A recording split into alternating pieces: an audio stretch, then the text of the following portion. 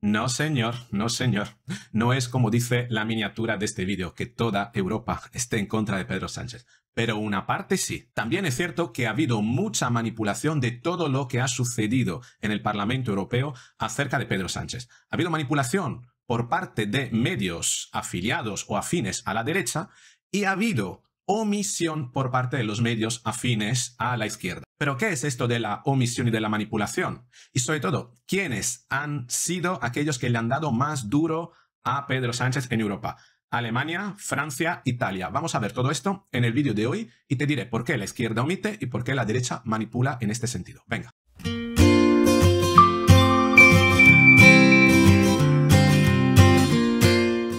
Así es, sí, es cierto. Em, a ver, primero hay que entender cómo funciona el Parlamento Europeo. Pedro Sánchez habló y luego hablaron varios exponentes de distintos partidos de distintos países de la Unión Europea. Si tú has visto medios de comunicación afines a la derecha, habrás podido observar o te habrás hecho la idea de que a Pedro Sánchez prácticamente toda Europa le ha criticado. Pero no era toda Europa.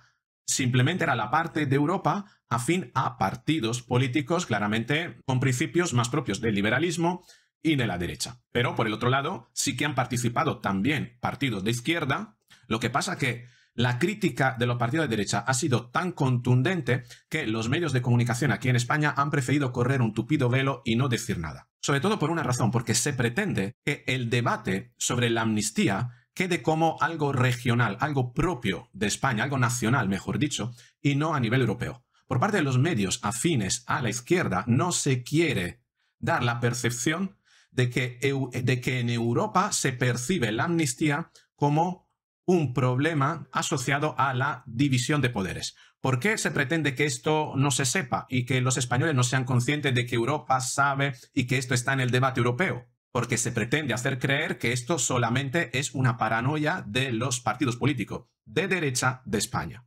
Y sobre todo, no se quiere alarmar a los españoles haciéndoles más conscientes del hecho de que, oye, si en Europa esto se debate, será entonces algo importante. A lo mejor no es tan sencillo y no es tan simple como lo pinta Pedro Sánchez. Y entonces la gente podría iniciar a dudar, podría iniciar a desconfiar de las intenciones de Pedro Sánchez. Por el otro lado, los medios de derecha sí han querido hacer una fotografía muy clara de todo lo que le han dicho los partidos políticos de derecha del resto de Europa a Pedro Sánchez. Pero ha habido muchísima manipulación de la información. Primero, lo del perro que ladra no le ladra a Pedro Sánchez, ni ladra después de que habla Pedro Sánchez. No, habla, ladra después de que habla, ladra después de que hablara o ladrara Ursula von der Leyen, ¿vale?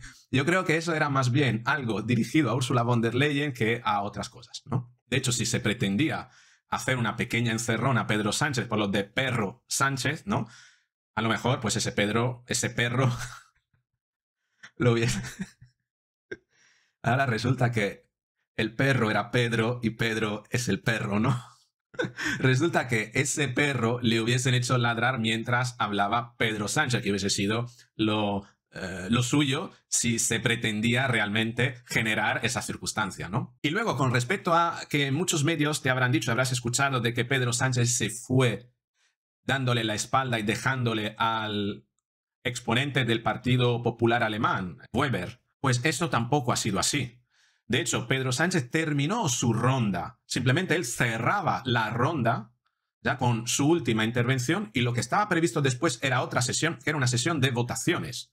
De hecho, hay, hay un, periodo, si tú ves toda la grabación, y ahora te la enseñaré, en el que directamente las personas que, llevan, digamos, los tiempos ¿no? de la cámara anuncian el cambio de tercio, pero aún así le van a dar la palabra a Weber para que de alguna manera diga algo. Pero el turno de debate había terminado y Pedro Sánchez se había marchado. No ha sido ningún estufido en ese sentido.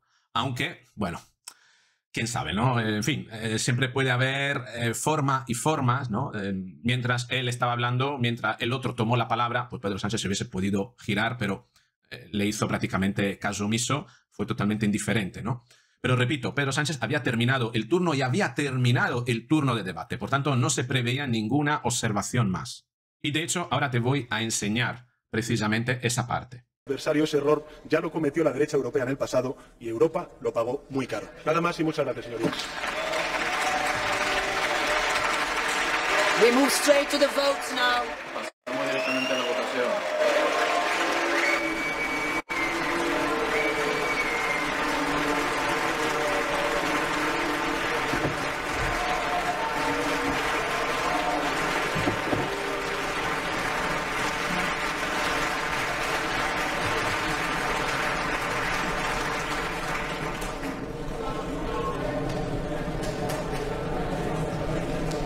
So, ¿Ves? Todo termina, algunos aplausos. Se menciona, pasamos a las votaciones en inglés, lo vas a ver en los subtítulos. Aquí hay abucheos y aplausos. Moción de orden, adelante. Frau Präsidentin, um, um Ruhe und Aufmerksamkeit Präsidentin, der- silencio y atención. Premierminister Geetswabe hat jetzt fast fünf Minuten YouTube solo reconoce los aplausos, no reconoce los abucheos. Pero ves que pasa tiempo. Eh, el, presidente de Herren, ha atacado durante casi cinco minutos. Se ha referido a que era yo en mi país, en Alemania. En Alemania, la democracia, eh, los demócratas se reúnen, encuentran un consenso teniendo en cuenta er izquierda y derecha para crear un gobierno. Él hace lo contrario, quería aclararlo. Pasamos a la votación. Todo ha terminado. Sánchez se está marchando. Sí, es cierto que aquí Sánchez podría haber vuelto atrás, podría haberse dado la vuelta, pero no lo hizo. Pero, ¿qué es lo que pasó entre Sánchez y Weber para que Sánchez le evocara el Tercer Reich y Weber le contestara de esta manera? Vamos a ver. About usted de democracia y de los principios. El principio básico de la democracia es decirle la verdad a las personas antes de las elecciones. No puede usted prometer que no va a dar una amnistía tres días antes. No puede estar en el poder cinco años diciendo que una amnistía no es constitucional para luego aplaudir esa amnistía. Ayer se empezó el debate en las Cortes predecessor sobre la amnistía. Su predecesor Felipe González se opuso a ello en público y dijo que era un riesgo para la Constitución española. Europa está preocupada. La Comisión Sánchez. está formulando preguntas I muy importantes a Sánchez. Hoy únicamente quiero priorizar un punto especial. En el texto to de coalición que ha firmado ha prometido un comité especial a Puigdemont on sobre las sentencias y sobre el lawfare en España, que va en contra de la separación de poderes. Y ayer en el Parlamento español, el equipo de Puigdemont puso en el punto de mira a jueces individuales. Todo el mundo estaba en shock en el Parlamento sobre lo que ocurrió. Y yo tengo una pregunta. ¿Van a estar ustedes a favor de una comisión así? Eh, los socialistas en las Cortes en España Si esto se aprueba, tenga por seguro que hará falta una comisión de investigación en el. Parlamento Europeo para estudiar muy de cerca lo que está ocurriendo en very España. Bueno, prácticamente le acusó de haber mentido a los españoles antes de las votaciones y que, bueno, la Comisión Europea abriría una comisión a su vez a España, de investigación a España, si se dieran esas comisiones de investigación sobre los jueces, ¿no? Esto es lo que hemos tenido con respecto a Weber. La verdad que eh, está muy mal grabada esa parte, no he conseguido, prácticamente están desapareciendo, todo el material en Internet está desapareciendo referido a lo que dijo Weber, porque es lo que ha llamado la atención. Pero también ha habido intervenciones muy importantes por parte de exponente- exponentes de Italia y de Francia. Te voy a poner la de Italia primero y la de Francia después. Escucha. Presidente onorevoli. Grazie Presidente Mezzola, Presidente Gracias. Sanchez, Presidente von der Leyen. Io Presidentes, ehm, so bene che questo tipo di dibattiti sé muy bien que este debate se convierte visto in tante en un debate eh, nacional. tanti- Lo hemos visto tantas questo, veces questo ci sta, eh, en la presidencia de turno. un Es normal, lo entiendo. No puede ser una lista de lo que se ha hecho, una- no una se ha hecho, porque son resultados positivos los que se han obtenido. Y gracias He empezado diciendo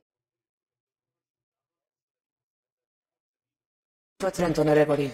Grazie Presidente Mezzola, Presidente Gracias. Sanchez, Presidente von der Leyen. Io Presidentes, ehm, sé muy bien que este debate se convierte en un debate eh, nacional. Lo hemos visto tantas veces eh, en la presidencia de turno. Es normal, lo entiendo.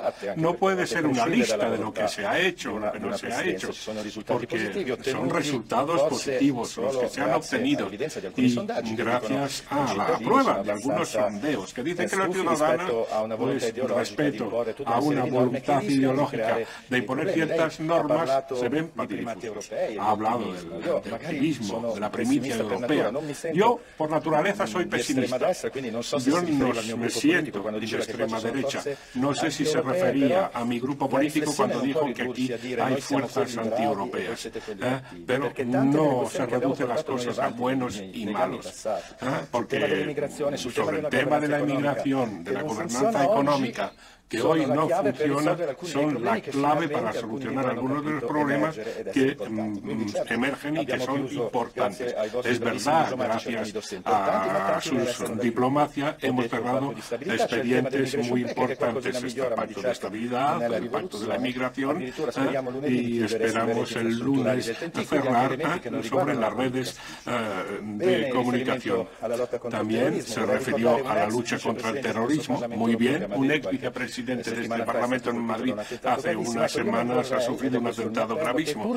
Yo no quisiera que por defender el statu quo y diciendo nosotros somos los buenos, se renuncie a entender la propuesta de tantos millones de ciudadanos, también i en partidos de extrema derecha de la que hablan tanto como pasó en Holanda. Muy interesante lo que ha dicho el exponente italiano, criticando a Sánchez por esa dualidad que suele poner en sus discursos, ¿no? De que como los demás son el diablo, solo ellos son los buenos, ¿no? El italiano en la final le ha dicho, no quisiera que por ese discurso, que ese discurso fuese como una apología a hacerle daño, a odiar a los otros simplemente porque defienden un modelo diferente. Siempre dentro del marco constitucional se pueden tener propuestas diferentes de Estado, por supuesto. Lo que pasa que el discurso de Pedro Sánchez suele ser siempre el de los demás son malos, nosotros somos los únicos buenos, ¿no? Entonces, el italiano le ha dicho ahí, ¿no será que con este discurso está favoreciendo que a determinadas personas después se le persiga, refiriéndose al atentado que ha habido contra el exponente de Vox, que se le disparó ¿no? en la calle y todavía no se sabe cuál es el, el motivo, pero todo apunta a que sea un acto terrorista. Pero vamos a la guinda del pastel, que es la intervención del exponente francés. A ver qué es lo que dice.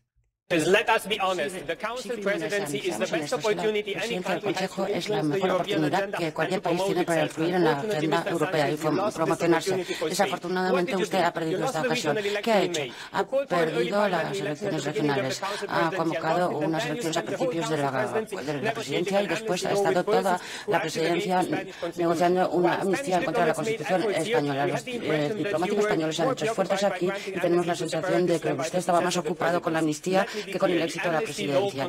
Seamos claros, la amnistía co- government preocupa a la Unión Europea. Un gobierno que ofrece amnistía que ha infringido la Constitución, ataca al Estado de Derecho. La ley de la amnistía es un ataque al Estado de Derecho y a nosotros nos preocupa el Estado de Derecho porque es un valor europeo y déjeme ser claro, quien quiera acceder a los fondos europeos tiene que respetar los valores europeos. La ley de amnistía y el ataque al Estado de Derecho pone en riesgo el bloqueo de los fondos europeos. Lo hemos visto en Hungría, lo hemos visto en Polonia y puede ocurrir en. España y no queremos que eso ocurra.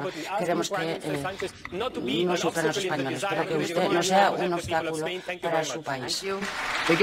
Espero que usted no sea un obstáculo para que su país reciba los fondos si ataca al Estado de Derecho, diciendo que la ley de amnistía es un ataque al Estado de Derecho. Desconozco la orientación de, este político francés, imagino, ¿no? Imaginamos todo de dónde, de dónde puede venir, pero lo bueno de todo esto es que en Europa se permite hablar de distintos modelos e ideas diferentes se conciben como algo que forma parte de distintas posibilidades que pueden cuajar en distintos momentos. Cuando, sin embargo, aquí en España el discurso político se está polarizando cada vez más, haciendo creer a una parte de la población que los buenos solo son unos y que los otros son malos, que las propuestas alternativas de Estado, de convivencia, no son legítimas cuando provienen de adversarios, y que se pretende buscar la convivencia, entre comillas, en Cataluña, precisamente aislando una parte de España, por tanto, negándole la convivencia y negando el acceso a una propuesta diferente por parte de otra España que busca otras cosas, busca otro modelo. Y esto es básicamente lo que le han dicho a Pedro Sánchez en Europa. Motivos por los que le han criticado, los has visto, son varios, pero al final este es el sentido de todo.